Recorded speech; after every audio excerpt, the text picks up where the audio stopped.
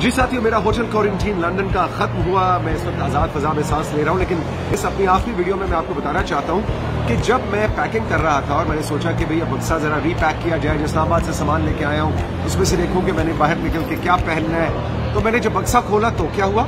फिर उसके बाद मेरा वहां से खुदा हाफिज और फिर उसके बाद मैंने होटल क्वारंटीन लंदन से निकल के पहला खाना क्या खाया ये सब इस वीडियो में अच्छा यूके आते थे दोस्तों रिश्तेदारों से पूछो ना आपके लिए क्या लेके आऊं ਜੀ ਖੁੱਲੀ ਪੱਤੀ ਲੈ ਕੇ ਆਈਏਗਾ ਇਹ ਵੇਖੋ ਤੁਹਾਡੀ ਖੁੱਲੀ ਪੱਤੀ ਨੇ ਨਾ ਇਹ ਕੀ ਕੀਤਾ ਹੈ ਬਕਸੇ ਦੇ ਵਿੱਚ ਪਾਟ ਗਿਆ ਉਹਦਾ ਲਿਫਾਫਾ ਸਾਰੀ ਖੁੱਲੀ ਪੱਤੀ ਜਿਹੜੀ ਹੈ ਨਾ ਉਹ ਪੱਤੀ ਪੱਤੀ ਹੋ ਗਿਆ ਪੂਰਾ ਬਕਸਾ ਮੇਰਾ ਇਹ ਲਓ ਬਣਾ ਲਓ ਚਾਹ अच्छा जी फाइनली मेरा टेन डे क्वारंटीन खत्म हो रहा है यहाँ लंदन में रमादा होटल में, और look at this such a beautiful lobby it has और हमें पता ही नहीं था हमने 10 दिन ऊपर कमरे में गुजारे।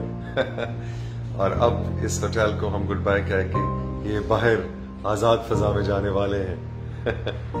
ये जी जेल से फरार हो रहे हैं। आज इनका, इनकी सज़ा ख़त्म हो गई है।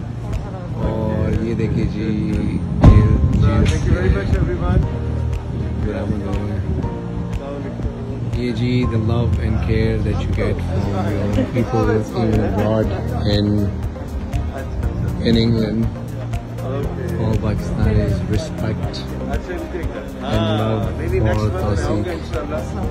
फिर आप सबके साथ बारबेक्यू पार्टी होगी London quarantine खत्म होने के बाद पहला खाना। पहला खाना।